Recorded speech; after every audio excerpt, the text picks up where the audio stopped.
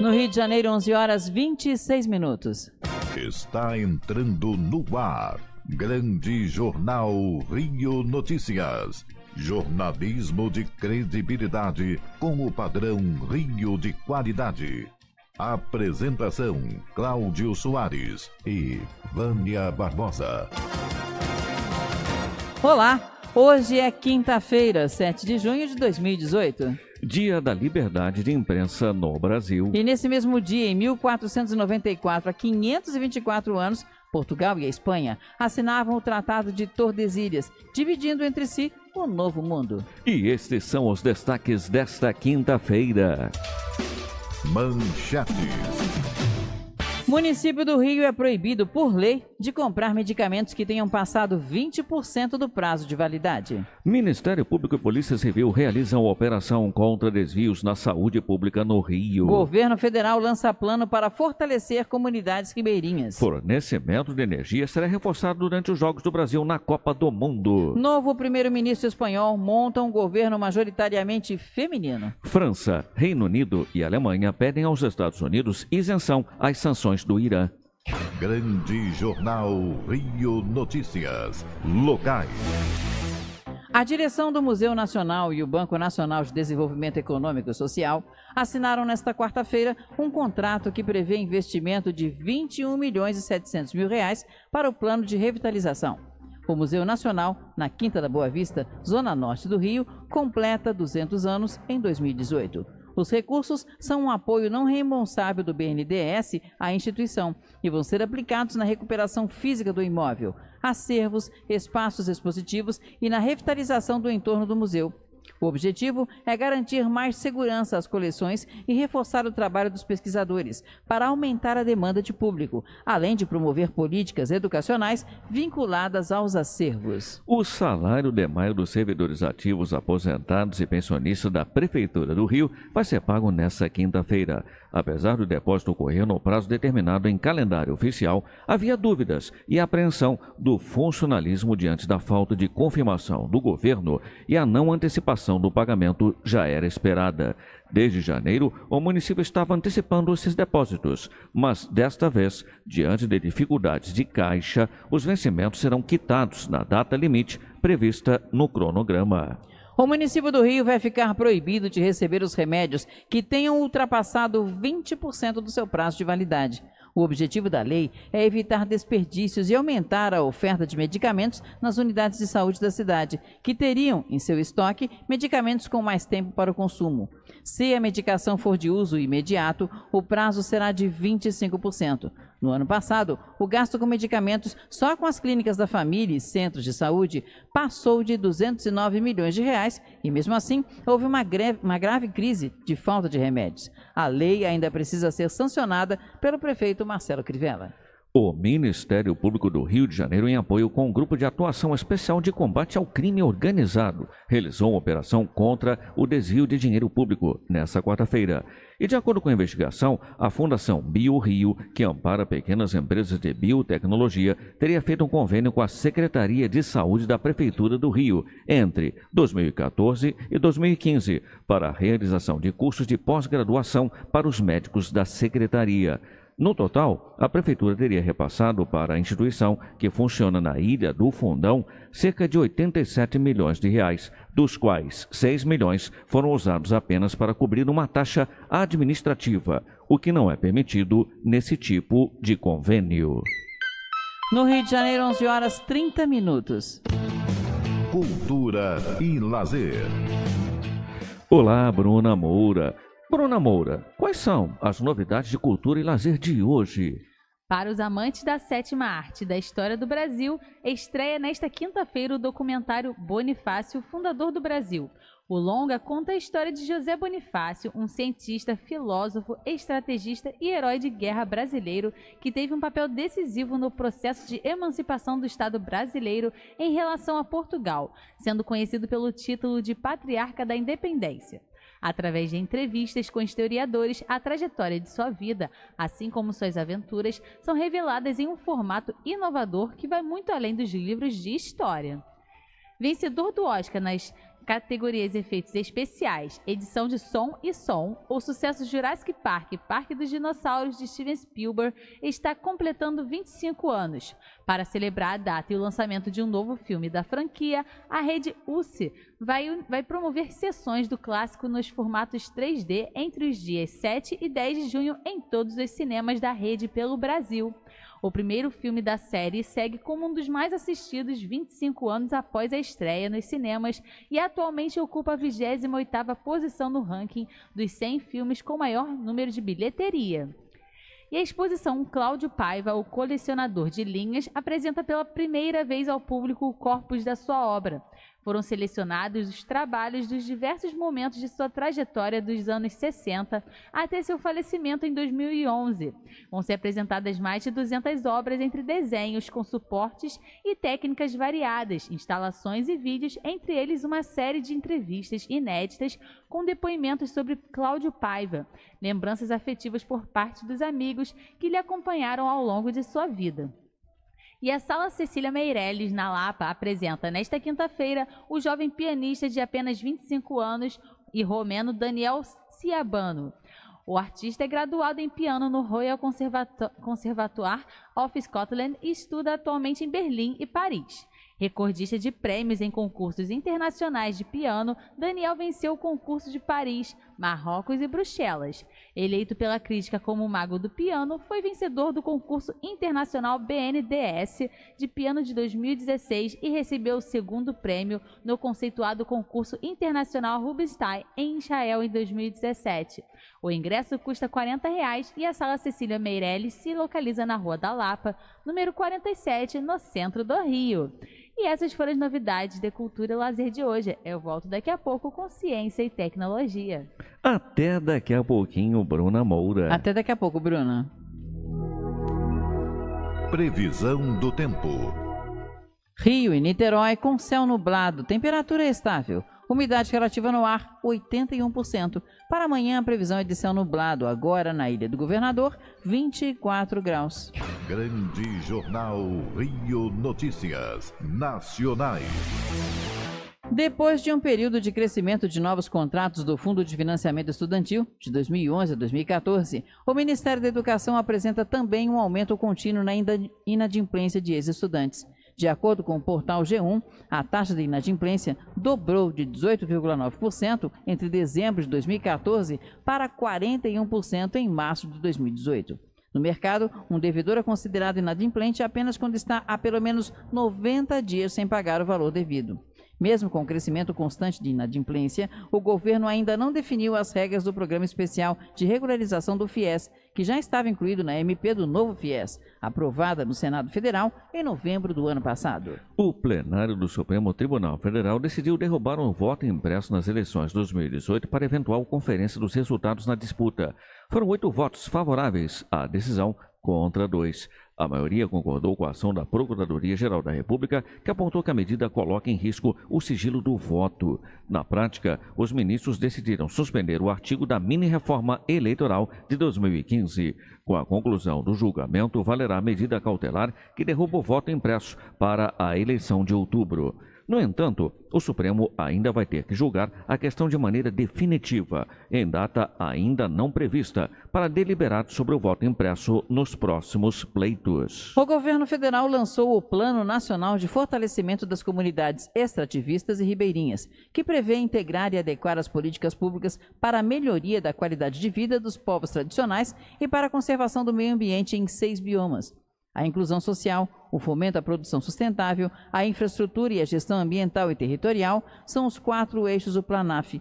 De acordo com o Ministério do Meio Ambiente, a partir deles, a iniciativa vai abordar questões como o acesso às políticas de saúde e educação, a regularização fundiária dos territórios ocupados pelas comunidades, o aumento da produção e da renda e a exploração ambiental equilibrada da sociobiodiversidade. O operador nacional do sistema vai fazer uma operação especial para aumentar a carga de energia do sistema interligado nacional durante os Jogos do Brasil na Copa do Mundo da Rússia, que começa semana que vem. A medida foi anunciada pelo Comitê de Monitoramento do Setor Elétrico. O objetivo é reforçar o fornecimento de energia no período do evento e evitar possíveis apagões, como o que ocorreu em março, quando houve interrupção em três estados das regiões Norte e Nordeste e afetou estados do Sul e Sudeste. Na reunião, o comitê informou que a operação especial terá início duas horas antes e será finalizada duas horas depois dos Jogos do Brasil e de outros eventos identificados como de grande relevância, tais como a cerimônia de abertura e o jogo final. O primeiro jogo do Brasil é contra a Suíça, no dia 17 de junho. No Rio de Janeiro, 11 horas 36 minutos. Ciência e tecnologia. Tecnologia.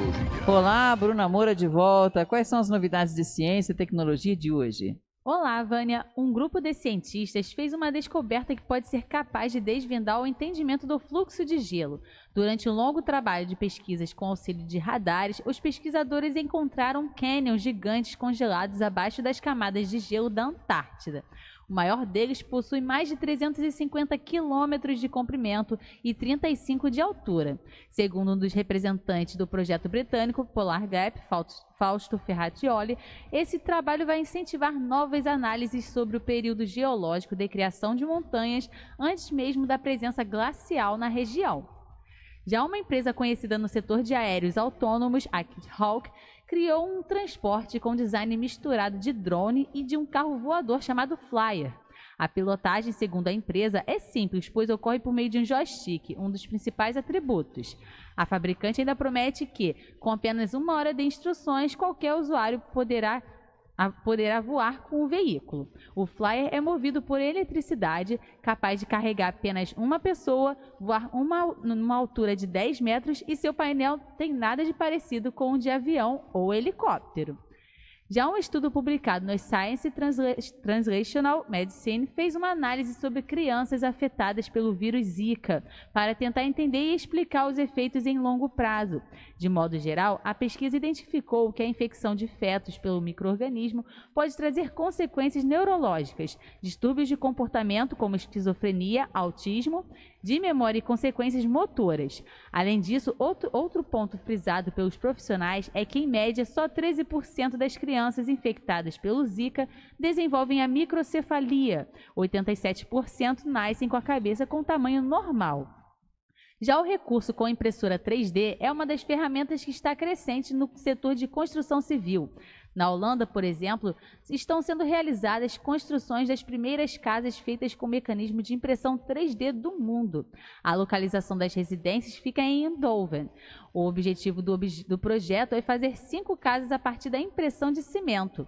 Os pesquisadores pretendem que o plano consiga demonstrar à indústria de construção os benefícios desse fenômeno tridimensional no ambiente. Entre as vantagens, um decréscimo das emissões de gás carbônico. E fico aqui com as novidades de ciência e tecnologia de hoje. Eu volto amanhã com muito mais para vocês. Até lá! Até amanhã, Bruna Moura. Até amanhã, Bruna. Grande Jornal Rio Notícias. Em dia com a economia.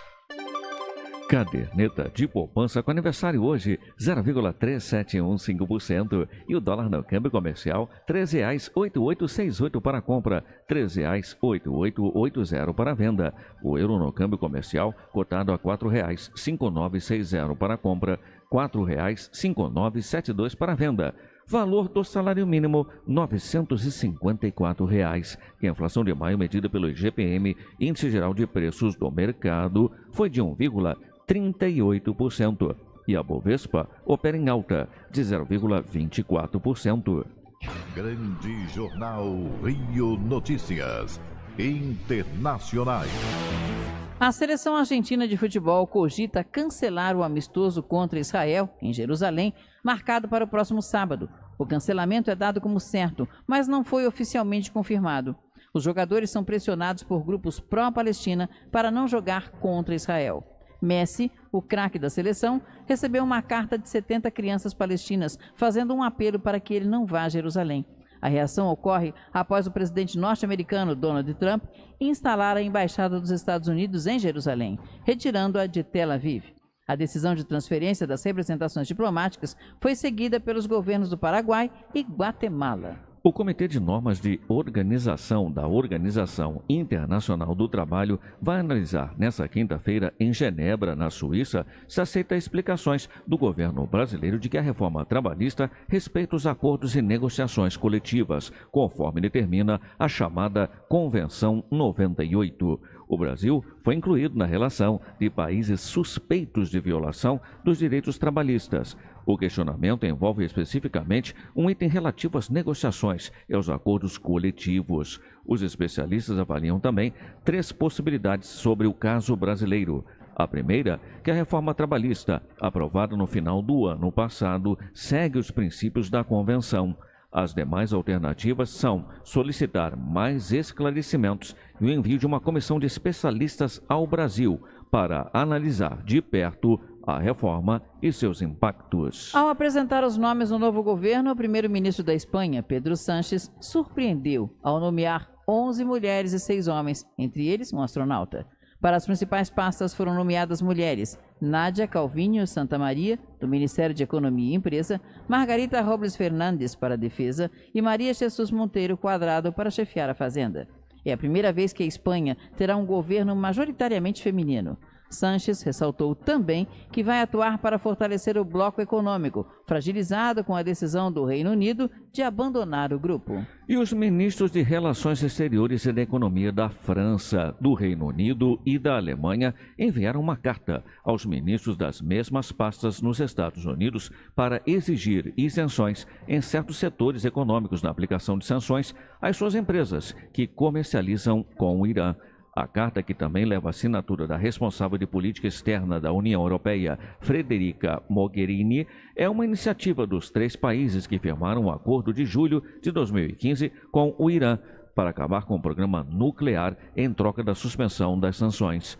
A carta é dirigida aos responsáveis de relações exteriores Mike Pompeo e de economia Stephen Mckin dos Estados Unidos. No Rio de Janeiro, 11 horas 43 minutos. Giro de repórteres. Inscrições para o SISU começam em 12 de junho e a repórter Cintia Moreira tem mais informações. As inscrições para o Sistema de Seleção Unificado SISU poderão ser feitas do dia 12 ao dia 15 de junho. De acordo com o Ministério da Educação, o programa vai oferecer mais de 57 mil vagas em 68 instituições públicas de ensino superior. Ao ingressar no sistema, o candidato deverá escolher, por ordem de preferência, até duas opções de curso entre as vagas ofertadas. Segundo o coordenador geral de programas de educação superior do MEC, Fernando Bueno, isso trará maior mobilidade ao estudante, já que o processo de inscrição é feito exclusivamente pela internet. Ele foi criado com a intenção, na verdade, de universalizar o acesso aos estudantes, dar oportunidade para o estudante fazer a inscrição em mais de uma instituição, propiciando uma maior mobilidade dele. Tem a questão também financeira, né? Que antigamente o estudante tinha que fazer mais de um vestibular, tinha que se deslocar de às vezes de estado, hoje em dia não. Através do SISU, ele consegue, de onde ele estiver, com o computador internet, acessar o site e fazer a sua inscrição. Poderão concorrer às vagas quem fez o Exame Nacional do Ensino Médio em 2017 e quem teve nota acima de zero em redação. As vagas vão ser ofertadas em oito instituições públicas estaduais, uma faculdade pública municipal e 59 instituições públicas federais, com dois centros de educação tecnológica, 27 institutos federais de educação, ciência e tecnologia e 30 universidades. O resultado da chamada regular está previsto para o dia 18 de junho. Já o período de matrícula vai de 22 a 28 de junho e o prazo para participar da lista de espera é de 22 a 27 de junho. Reportagem Cíntia Moreira. Governo reduz previsão do salário mínimo para 998 reais em 2019. Mais informações com o repórter Paulo Henrique Gomes. O governo reduziu a previsão de salário mínimo para o ano que vem. Em abril, a expectativa era de R$ 1.002. O valor sofreu uma leve alteração e passou para 998 reais. A revisão foi publicada em uma nota técnica do projeto de lei de diretrizes orçamentárias do próximo ano, divulgada pela Comissão Mista do Orçamento, formada por deputados e senadores. O novo valor é apenas uma estimativa e ainda precisa ser aprovado. Ainda segundo o relatório, a queda no valor do salário mínimo é justificada pela projeção menor de inflação para este ano. Em abril, a previsão para o Índice Nacional de Preços ao Consumidor era de 3,8%. No entanto, essa projeção foi revisada para 3,3% pelo governo, o que afetou o cálculo do salário mínimo. Caso aprovado,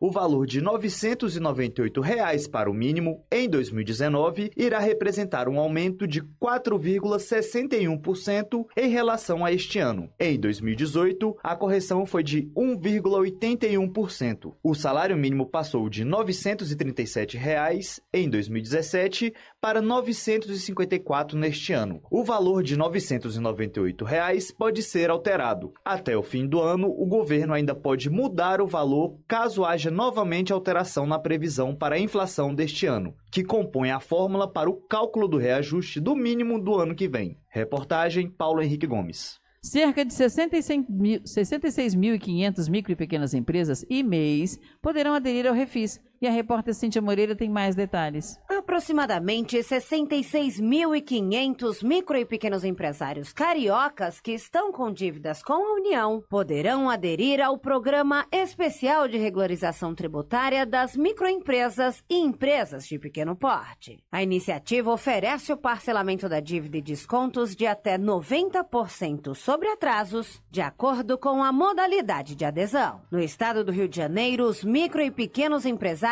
devem mais de 6 bilhões de reais. A analista do Sebrae do Rio de Janeiro, Juliana Loman, conta quais são os benefícios do programa. A redução dos juros, das multas e dos encargos legais. Então, todas as micro pequenas empresas que estão no Simples Nacional e que tiverem débitos até novembro de 2017 poderão acessar o programa de regularização tributária, esse refinanciamento. Já existe um simulador disponível no site da Procuradoria Geral da Fazenda Nacional. Nós orientamos que cada microempresa procure seus contadores e faça a sua simulação. O projeto que instituiu o refis das MPS havia sido aprovado pelo Legislativo em dezembro de 2017, mas foi barrado pelo presidente da República em janeiro deste ano por limitações orçamentárias. O Congresso Nacional então derrubou o veto por 346 votos a 1 na Câmara e 56 votos a 0 no Senado. Um dos apoiadores da matéria foi o senador Eduardo Lopes, do PRB do Rio. De acordo com o parlamentar, a aprovação do refis vai ajudar milhares de pessoas a quitarem suas dívidas decorrentes da crise financeira instalada no país. Não está fácil para ninguém vencer os tantos desafios da longa crise pela qual passamos. Do total de trabalhadores com carteira assinada, as micro e pequenas empresas representam nada menos, ou representavam melhor, nada menos que 54% em 2015, ou seja, empregavam 16,9 milhões de indivíduos, mostrando então o crescimento da micro e pequena empresa no Brasil. Para participar do Programa Especial de Regularização Tributária das Microempresas e Empresas de Pequeno Porte, é preciso pagar pelo menos 5% do valor dos débitos vencidos até novembro de 2017. Essa primeira parcela pode ser dividida em até cinco vezes. O restante pode ser pago de três formas: em uma parcela única, em 145 parcelas ou em 175 parcelas. O valor da parcela mínima não pode ser inferior a 300 reais para as microempresas e empresas de pequeno porte e de 50 reais para os microempreendedores individuais. A adesão ao Refis terminará às 9 horas da noite do dia 9 de julho. Reportagem Cíntia Moreira.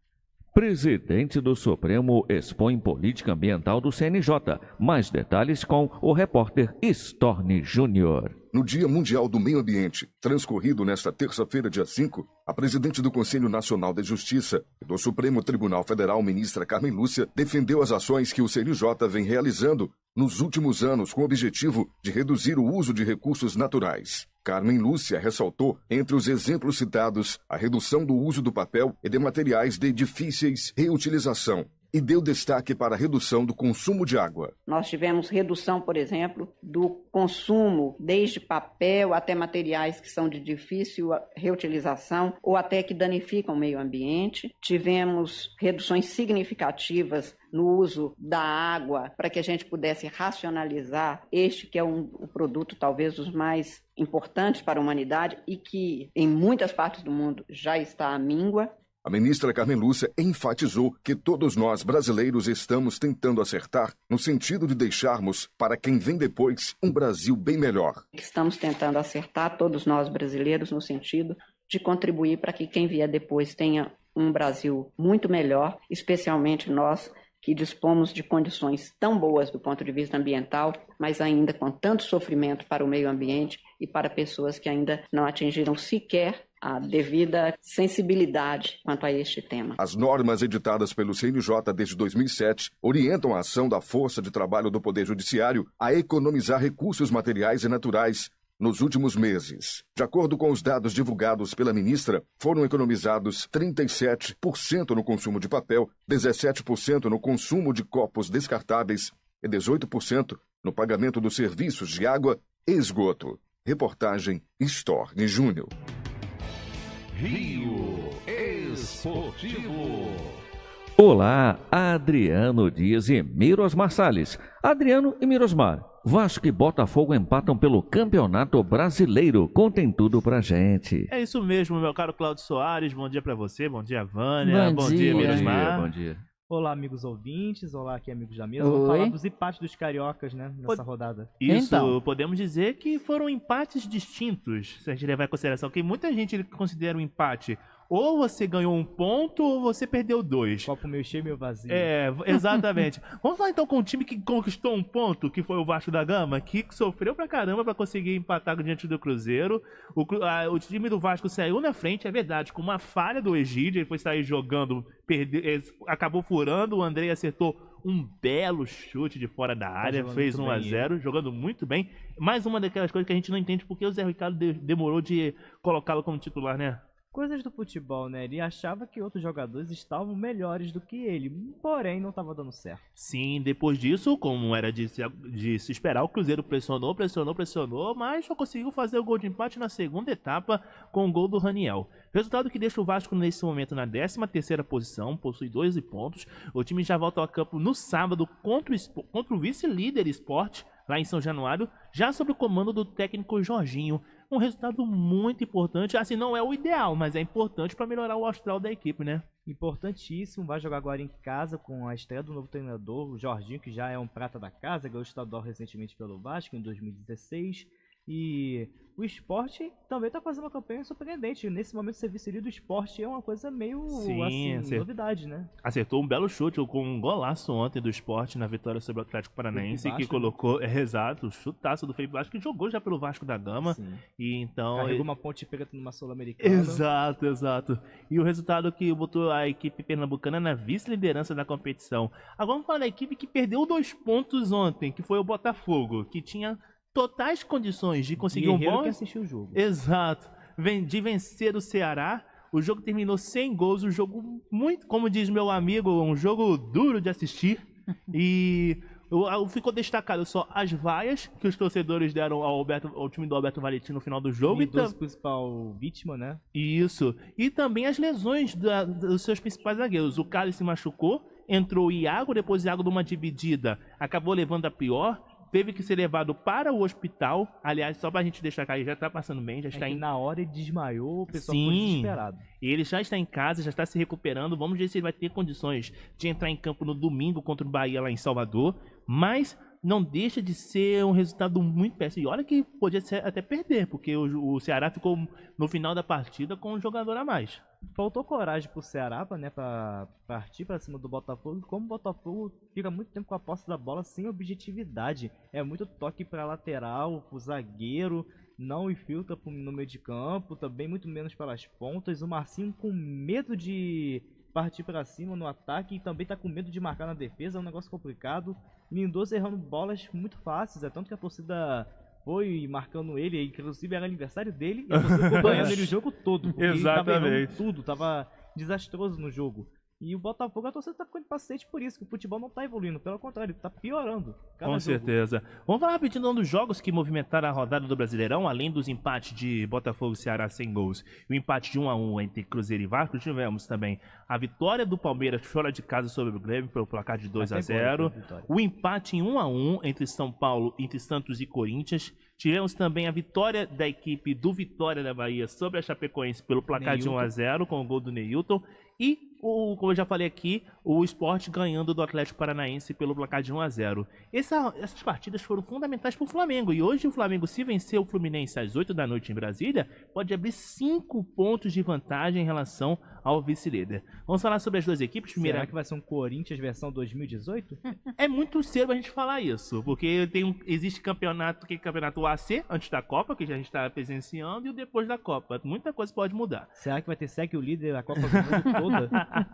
Essa é a questão. Torcedores rubro-negros estão falando muito isso nas redes sociais, também nas ruas. A gente presencia muita gente brincando com essa frase. Vamos falar do Fluminense. O Fluminense que vai ter uma série de problemas para essa partida.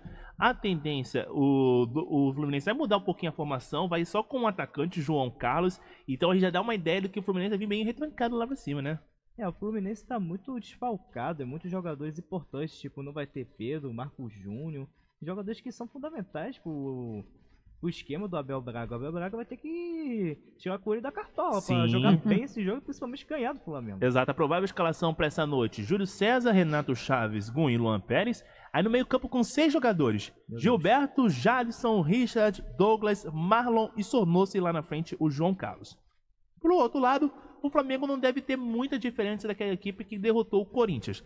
A única diferença é a entrada do Cuejá no meio-campo, ele que não entrou na lista final da seleção colombiana. Então ele vai ter condições de jogo para essa partida. E ou também no meio-campo, ou Jonas ou Jean Lucas. Então a tendência é que o Flamengo vai a campo hoje com Diego Alves, Rodinei, Léo Duarte, Rodolfo e René, Jonas ou Jean Lucas, Cuejá e Lucas Paquetá, Everton Ribeiro, Vinícius Júnior e Henrique Dourado. Mas o time do Flamengo, claro, é favorito para esse jogo, né, Mirosmar? Bom, o que eu tô vendo pelas escalações é que o Fluminense vai vir um pouco mais defensivo e o Flamengo vai tentar atacar mais. Porém, com o Jonas no, como volante, é bem capaz no segundo tempo de botar mais um meio ofensivo e tirar o Jonas para ficar mais ofensivo dependendo do resultado do jogo. Com certeza. Então vamos aguardar. Então, Fla-Flu e Seleção Brasileira vão ser os assuntos principais de amanhã, né, Mirosmar? Correto. Com essas informações, encerramos a nossa participação por aqui e até amanhã. Até amanhã, Adriano Dias e Mirosmar Salles. Até amanhã, meninos. No Rio de Janeiro, 11 horas 58 minutos. Grande Jornal Rio Notícias. E estes foram os destaques de hoje. Município do Rio é proibido por lei de comprar medicamentos que tenham passado 20% do prazo de validade. Ministério Público e Polícia Civil realizam operação contra desvios na saúde pública no Rio. Governo Federal lança plano para fortalecer comunidades ribeirinhas. Fornecimento de energia será reforçado durante os Jogos do Brasil na Copa do Mundo. Novo primeiro-ministro espanhol monta um governo majoritariamente feminino. França, Reino Unido e Alemanha Alemanha pedem aos Estados Unidos isenção às sanções no Irã. Grande Jornal Rio Notícias. A apresentação, Cláudio Soares. E Vânia Barbosa. Reportagem, Cíntia Moreira. Paulo Henrique Gomes. Storne Júnior. Mirosmar Salles. Redação, Adriano Dias. Bruna Moura. E Jade Marinho. Na técnica, Fabrício Ferreira. Coordenação de jornalismo, Lohane Alvim. Sigam ouvindo a programação da Rádio Rio de Janeiro. A seguir, programa Despertar Espírita. Grande Jornal Rio Notícias. Jornalismo de credibilidade com o padrão Rio de qualidade.